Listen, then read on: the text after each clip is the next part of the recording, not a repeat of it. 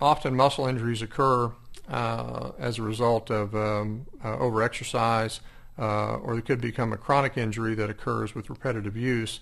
Uh, when you first have the injury, a lot of uh, patients will see a primary care physician who will prescribe uh, some mild analgesic medications, muscle relaxants, allow the patient to take some time off from work, etc.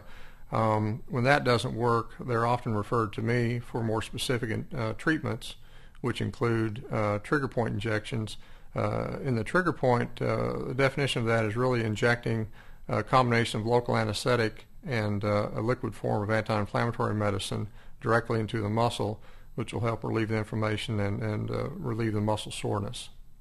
Other treatments for muscle injuries uh, that we prescribe, something known as a TENS unit, uh, which is a electrical device that provides uh, stimulation to the peripheral nerves uh, around the muscles, giving it uh, a benefit and giving it relief.